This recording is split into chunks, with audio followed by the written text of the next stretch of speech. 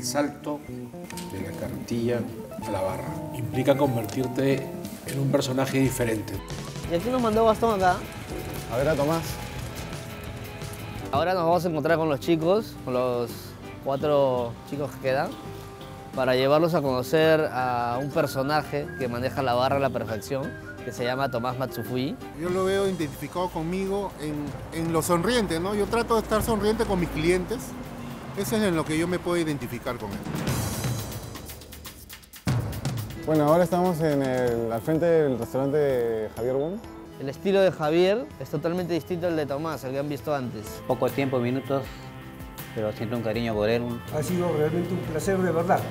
Por eso digo que el ceviche jamás va a desaparecer mientras exista gente con el espíritu de ustedes. Acá termina el recorrido, se define eh, quién es el siguiente eliminado. Alguien se siente en una barra, no necesariamente solamente para comer, es para tener el gusto de poder, primero, ver cómo se preparan los platos, ¿no? y también a su vez que te cuenten un poco.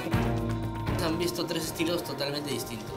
Son tres formas de trabajar en una barra, enfrente a un cliente, convenciéndolo, conociéndolo, analizándolo y sabiendo un poco los gustos o lo que desean en ese momento. De eso va a tratar el resto.